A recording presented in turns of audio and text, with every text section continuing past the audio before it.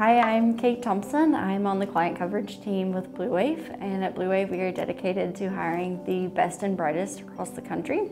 And we believe that Vanderbilt University has given their students the skill set and knowledge needed to thrive in our dynamic environment.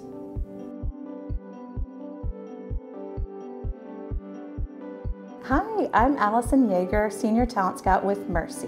Why do I recruit Vanderbilt students? They have high energy, high caliber, and they come prepared. Um, every time I meet them at a career fair, I've been so impressed. Um, Mercy is looking for future leaders, and we are confident we can find it at Vanderbilt. Hi, I'm Ray West, Managing Partner of Rayburn West Financial.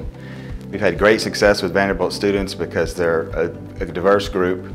Uh, they come from all over the country. They have many skills. They're very talented. Um, they're very eager to learn. When they leave our company, they've always been leaders in the field.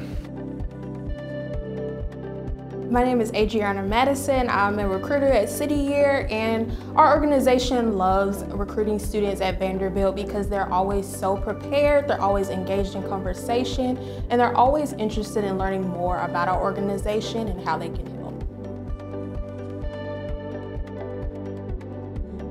Hey, my name is Brian Berhager. I'm a talent consultant at Vanderbilt University.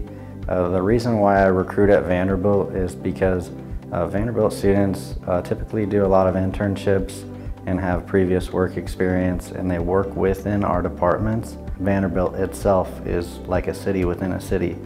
So we can hire for lots of different roles uh, no matter what their background is. With Vanderbilt University attending its own career fairs, uh, we can pipeline talent for those roles uh, with our own students.